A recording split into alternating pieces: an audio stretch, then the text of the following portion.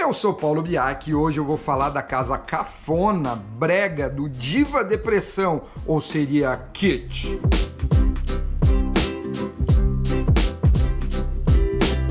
Para quem não sabe, eu fui completamente atacado, ofendido no último vídeo que eu fiz sobre a casa de Bruna Linsmeyer. Todo mundo falou que eu fui soberbo, com diva depressão, depreciei a casa deles eu não achei isso. Para quem não conhece muito aqui nosso canal, eu sou ácido, sou irônico e eu acho que eu joguei na mesma moeda ali com eles que fazem a mesma coisa no canal deles, mas como eu não tenho um canal de humor, tudo bem, Paulo Biak, você não pode fazer isso. Mas eu recebi muitos, muitos comentários ofensivos me chamando de ignorante, soberbo e tal, falando que eu não conheço Diva Depressão, quem é Paulo Biak, quem...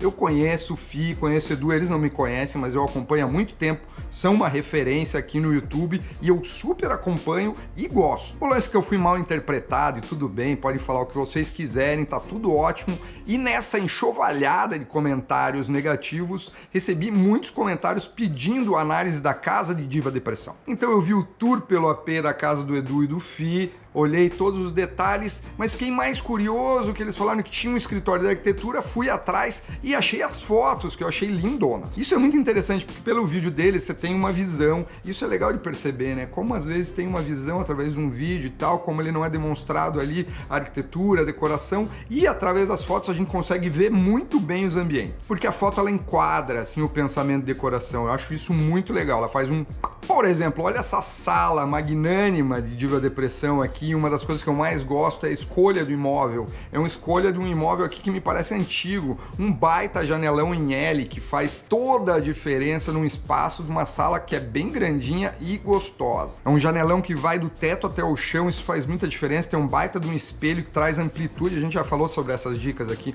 Uma parede de espelho, ela dá essa sensação e no tour pelo AP ali você, você, parece que está duplicado o espaço realmente. E aqui na foto a gente percebe que isso ajuda pra caramba caramba também para ampliar o espaço. E nessa sala não tem nada de brega, cafona, não que não possa ter, mas aqui não tem. Aqui tem um estilo muito claro, que é um estilo contemporâneo, urbano, com peças muito bem selecionadas. E aqui tem um detalhe que me chama a atenção, que eu gosto muito, que é essa parede com esses molduramentos, que no vídeo até o Du e o Fi não sabiam direito como é que se chamava aquilo ali, e se chama é uma técnica para você trazer, de certa forma, um aquecimento visual para a parede e também para você não precisar entupir de quadros a parede. A cor ali foi muito bem escolhida, colocada com esse boiserie, que é essa moldurinha que fica muito legal, é um estilo meio inglês, mas funciona muito bem para preencher uma parede extensa como essa aqui. O espelhão do outro lado eu já não gosto muito, ele é todo cheio de pedacinho, eu colocaria um espelho completão, mas eu acho que eles alugaram essa casa, então o espelho já veio, e se ele já veio, tá tudo bem. Ele mimetizou super bem ali, eu só não curto muito, parece um calendoscópio, mas poderia ser liso se o apartamento eles pudessem mexer, fazer uma reforma tal, deixaria eles lisos. Mas quem é Paulo Biak para falar isso, né? E é muito louco mesmo que não tem absolutamente nada de brega e cafona. Tem uma foto que é completamente pinteresca aqui, que tem um Chuck ali, um boneco, é um Chuck, é um boneco essa, ou é o fofão?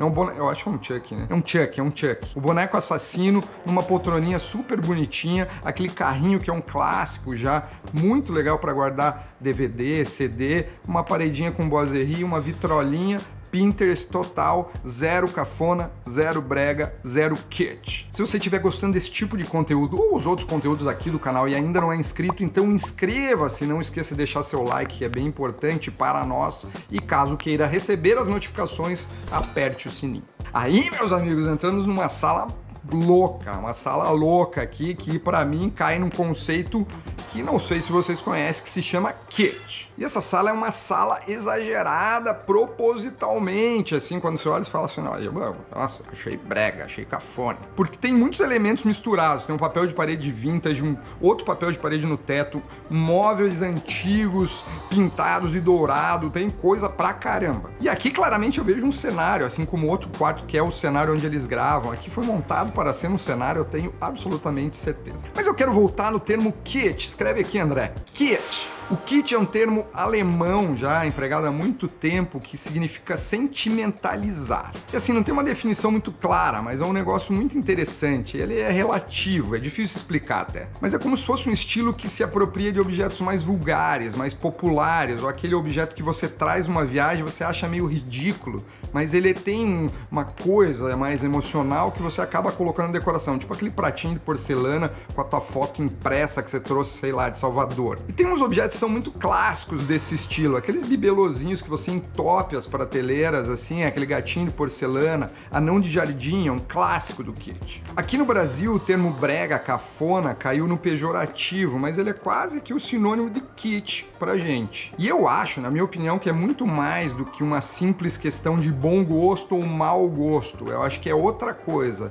É, kit é relativo. Para uns isso vai ser bom gosto, para outros mau gosto e tá tudo certo. E o kit, esse lance kit, que é exatamente essa sala de diva depressão, é legítimo, é um movimento legítimo, é uma atitude muito interessante, é realmente cool, porque é montado para ser exagerado, então você não tem a pretensão de combinar as coisas, você pode ser bem louco e colocar de tudo para deixar com essa cara que aqui chamamos de brega e cafona e o mundo como um fenômeno mundial que é o kit chama de kit. Ficou confuso, mas é isso, é kit. Então esse estilo é isso, é uma montagem sem critério, sem qualidade, as coisas não precisam ter muita qualidade. Então quando eu falo daquele quadrinho, por exemplo, que parece uma popzinha que você compra em qualquer esquina, é isso, você não para para pensar muito de onde veio aquela arte, você monta sem qualidade, vamos chamar assim. Isso é kit. E olha só que interessante, o kit ele não tem a pretensão de desafiar os padrões, o status quo.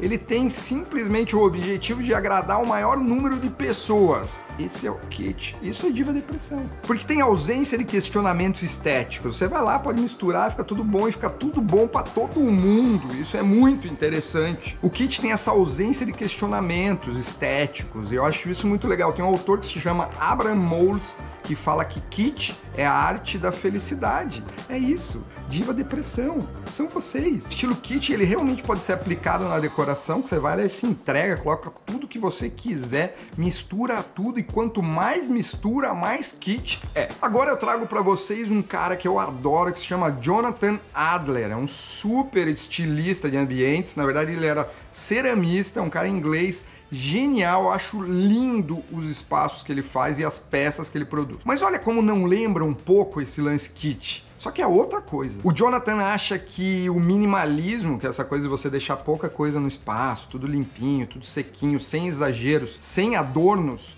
ele acha uma chatice. Então o Jonathan Adler ele trabalha com esse maximalismo, que é muitas coisas, é o exagero glamuroso, como ele mesmo chama. Só que aqui, ao contrário do Kit, tem um pensamento lógico de projeto de decoração que é muito organizado, muito pautado por cartela de cores, combinações, sofisticação de elementos, é tudo muito bem pensado, mas também é muito exagerado. Mas Paulo Biak está falando que isso é melhor que o que isso é melhor que diva de decoração, não estou falando nada, só estou comparando e achando isso muito legal, toda essa discussão. Eu não sei qual foi a ligação que eu encontrei sobre isso, mas eu achei muito interessante essa coisa do Jonathan Adler, do Kit. Não é Kit Jonathan Adler, é um exagero, é um glamuroso, sofisticado, maximalista. É muito louco, porque é muito próximo do Kit e muito distante ao mesmo tempo. Volto a dizer que não tem nada a ver, mas eu achei muito legal essa referência. Para quem não conhece, conheçam Jonathan Adler. E voltando, eu não estou querendo dizer que isso é melhor ou pior do que qualquer outra coisa, só estou trazendo referências para quem conhece nosso canal, sabe que eu gosto de trazer novidades sobre design, decoração, arquitetura e referências e inspirações para você. Minha conclusão sobre a Casa Diva Depressão, que tem pouquíssimo material, na verdade, para analisar, eu vou falar o seguinte: eles têm a casa deles, que é a casa de Edu e Fi,